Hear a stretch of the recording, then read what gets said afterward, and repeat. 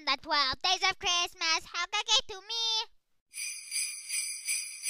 Hello everybody, Helga Von Eggwitz here. Today I'm at the Lionheart Pizzeria with Irwin and Mr. Petrovic over here. And um, as you may or may not know, it is Hanukkah season time, and Mr. Ibbson over here claims to be Jewish, so I wanted to know. I am Jewish. He claims to be Jewish, so I wanted to know um, about Hanukkah and just know some things about it. So proceed. Tell me about your little holiday. Well, Helga, Hanukkah is a eight days um, in December where we light this candle thing. It's called um, a Ganora, and we spin a little dreidel thing. What are you doing?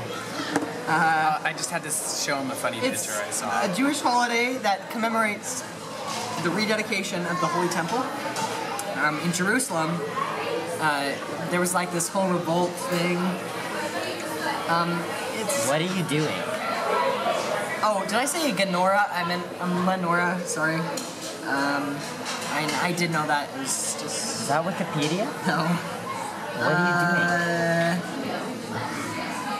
so we observe it by lighting candles of a uh, candelabrum with there's like nine branches, and it's one for every day of Hanukkah, I think.